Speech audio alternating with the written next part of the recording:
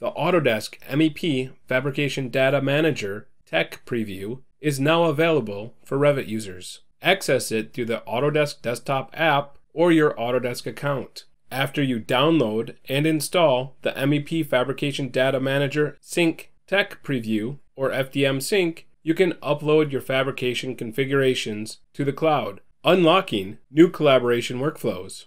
The complex relationships between fabrication parts have traditionally been difficult to understand. The Fabrication Data Manager Tech Preview introduces unique features to address the challenge and provide an intuitive view into your data. Built on the Autodesk Forge platform, the Relationship Browser is an enhanced navigation system that allows you to view, understand, and manage the relationships between various types of data.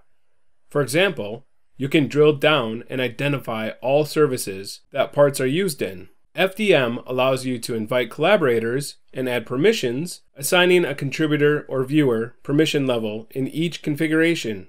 This enables you to easily share and manage content across project stakeholders. To use a cloud configuration in Revit, you will first need to download it using the MEP Fabrication Data Manager Sync tool.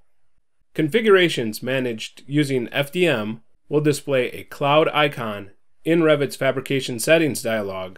You can detail in Revit using FDM managed configurations in the same way as with local configuration data. The Autodesk MEP Fabrication Data Manager Tech Preview introduces powerful new features for hosting and managing Revit fabrication part configuration data in the cloud.